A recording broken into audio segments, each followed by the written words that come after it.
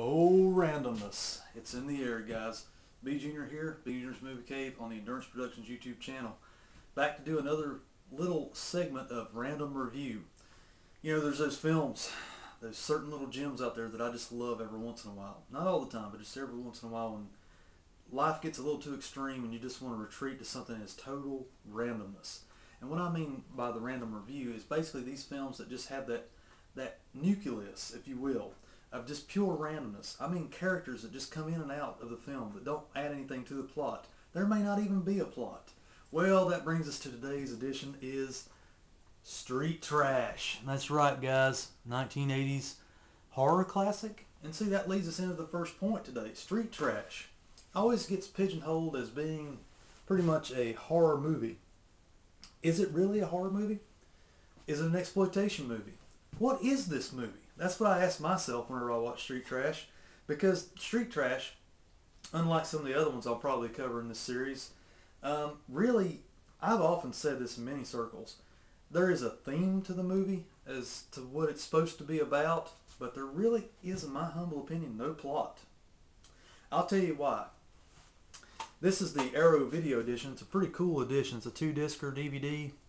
Um, I highly recommend picking this one up. You get the booklet and all the little extras and yeah, so forth and all that good stuff. But Street Trash. Yeah, where to start with this little gem? Where to start with this little gem? It brings a smile to my face, a genuine smile. Revisited it recently, and the best way to sum up uh, Street Trash, uh, I don't want to call it even plot-wise or story-wise. There's all these different little stories going on all at the same time. Think of a different reality, a different universe, if you will, of hobos. Yes, bums, hobos, whatever you want to call them. Everybody has their own name for them. Street trash, whatever you want to call them. Down on their luck peoples who live off the land and are very grubby in nature. Okay, that's the best way I can explain it. What this movie is a testament to, it's it's like a coexisting universe of hobos, the hobo universe that coexists with our our reality but we don't seem to notice it. This there's just like this whole other reality of hobo universe going on while our regular everyday lives are happening. Okay. Starts out basically there's the local liquor store. Local liquor store uh, proprietor is trying to make some extra money. Finds an old grubby looking uh, like case of this thing called Tenafly Viper in these little pint glass uh, glass style bottles puts it on the counter for a dollar a piece or something like that. Just it's hobo total hobo juice. I mean, he knows it's going to fly off the shelf really quick. He says, "Oh, I'll just put this out there." Well, turns out Tenafly Viper is actually got some sort of government chemical in it or something of that nature that's never really fully explained. But essentially, if you drink Tenafly Viper, you're going to die in a very horrible way. You either explode, implode, or dissolve into this big goopy mess. Yeah, hence the cover there. Gives you an idea of where this movie's going to go. Yeah, he drank Tenafly Viper. There it is right there. But, uh, yeah. Hokey special effects abound. I think that's one of the reasons why it gets pigeonholed as pretty much in the horror genres because there is some meltdown scenes, things like that, kind of Toxic Avenger-esque kind of uh, uh, special effects in that manner. Very comical, very hokey. I mean, even to some degree, those effects wouldn't scare small children. Now, I don't recommend the, the youngsters watch this movie because it is an R-rated flick. There's a lot of language and things like that in there that you probably want to screen out first, parents. But Street Trash will not disappoint in the realm of randomness, if you will. Because the Tenafly Viper thing is only like a subplot to the movie. It's like a backseat subplot to the movie. But there really is no plot. Remember that. Then we go into kind of like the uh, the the good guy hobos, and you kind of experience where their lives are at the junkyard where everybody seems to reside, and the junkyard proprietor is a real sleazeball, and he's got this uh, pretty uh, secretary girl that's infatuated with one of the good guy hobos, and yeah, it's just there's another uh, subplot or direction that it goes in. Then you've got the king of the the junkyard, or king of the hobos. He's this real militant, you know, beefy guy who's like king of the hill and he's like always beating up other people, treating everybody like crap and there's some hilarious scenes in there. There's a hilarious scene with a male penis. And I'm not going to say anything other than that. Okay, guys? You know if there's a flying penis in the movie, it's going to be great. Okay? Take it from B Junior.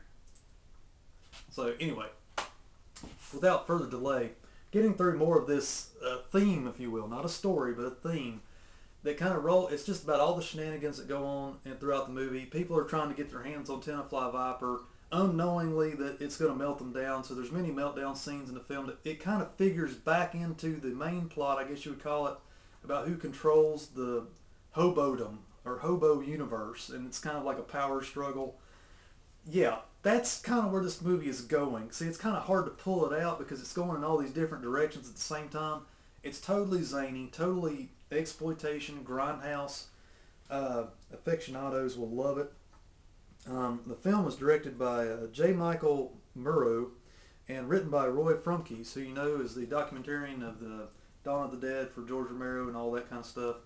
Um, he gives a lot of insight and special features on this particular edition of where their minds were or weren't during the filming and uh, inception of this movie's ideas. Yeah, I think it's just that's the best way to say it. it's a collection of ideas that kind of came together. How this movie, like much of the ones in the Random Review series, got a theatrical release and even got re-released on VHS and DVD and is still alive today is a testament to what this movie is about there's something there, guys, or it would not be on multiple editions and still available. I think Blue Underground has actually got a great edition of this out too, so it's probably a little more readily available than Arrow. I can highly recommend the Arrow edition. I like it, probably the best for street. We're talking about street trash here, guys. I mean, you know, get one that works. That's what I'm gonna say. And uh, unsure if there's any uh, any other major additions, but I think if you go with one of those two, you'll be fine. Uh, yeah, that's really all I can say about street trash. It's just a some days in the life uh, in the alternate in the alternate universe reality of hobos while they're all trying to get their hands on this Tenafly Viper, which is sort of like an epidemic backseat plot to the movie where it's killing the hobos internally by way of drinking it, consuming this foul liquor or whatever it is, government chemical, or whatever it is. I say, guys, if you're into these kind of random movies like Toxic Avenger, Pieces, Raw Force, any of those in the random sub genre, sub sub genre, I should say. Street Trash will not disappoint if you guys really like those type of films. So, rock on. Catch you later. Hope you guys enjoyed the overview of Street Trash randomness. Beware of Tenafly Viper. Bye.